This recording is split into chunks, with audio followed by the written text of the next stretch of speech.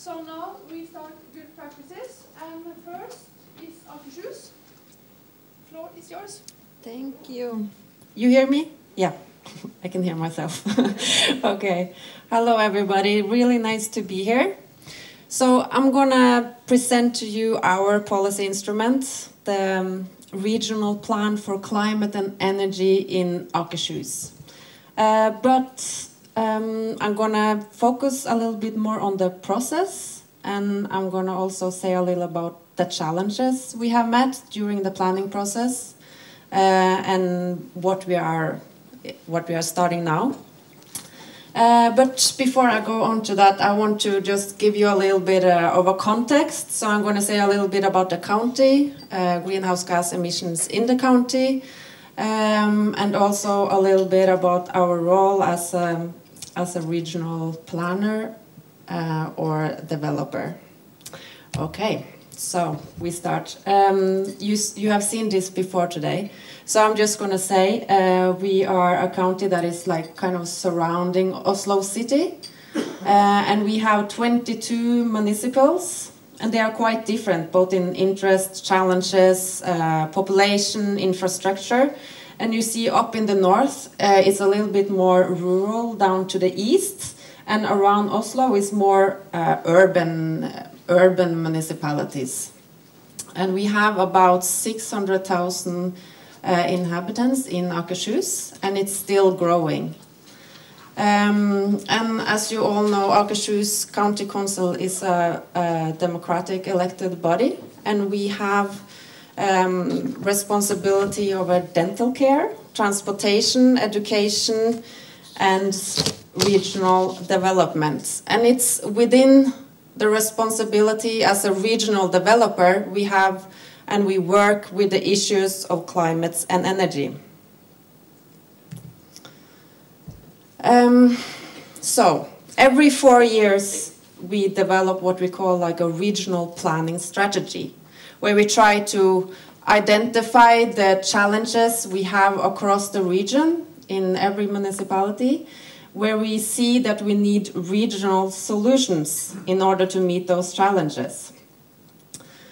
And one of those challenges that was, identified, I think, in 2013-ish, was uh, climate and energy. So that's why you make a regional plan for that.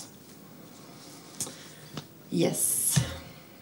So, greenhouse gas emissions. I just wanted to show this picture to so show like kind of the difference between the national level and our uh, our challenges as, at the regional level. So as you all know, uh, we have, have oil and gas, so no surprise, that's one of the biggest emission sectors in Norway.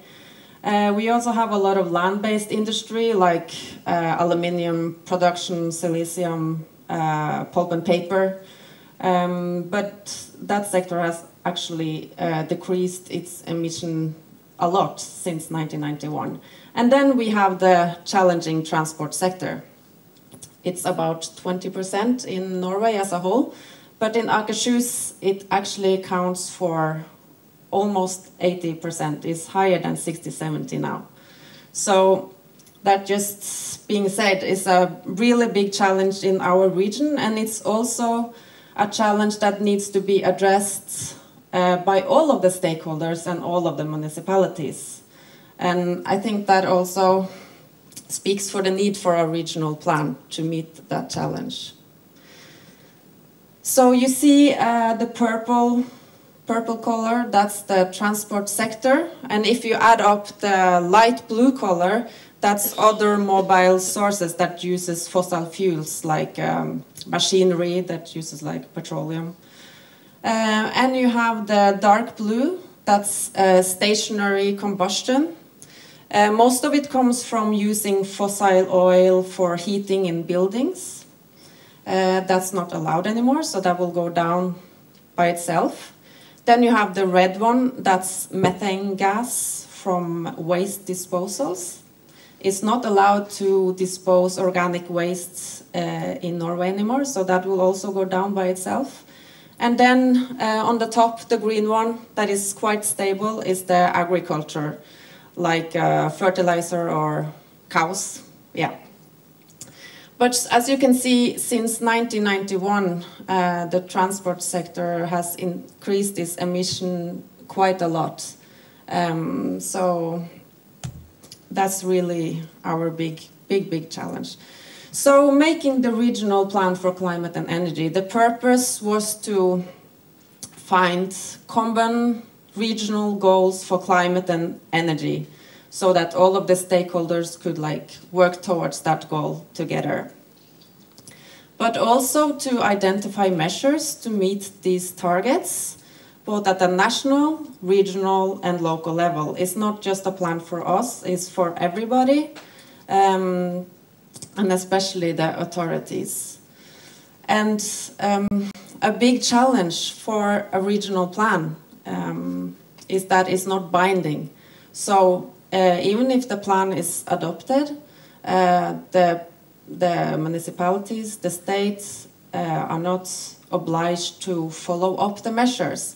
That's why it's so, so important for us to involve everybody in making the plan, so we make them a little bit theirs as well. So that's what we emphasized on, um, making, making the plan and in the planning process. It's involvement, involvement, involvement, involvement all the time. So this is uh, how we organized it. We have a, a steering group where we had representatives uh, a little bit higher up from the municipalities.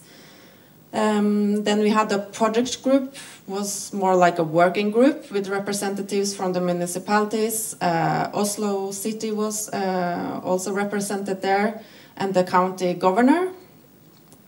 Uh, and they gave advice and um, told us how we should make the plan, what they needed, um, and so on. And then we also had uh, three uh, really big meetings where we invited a lot of stakeholders, NGOs, interest organizations, uh, industry, um, public authorities, um, so on and so on, um, where we kind of divided into the priority areas we have in the plan.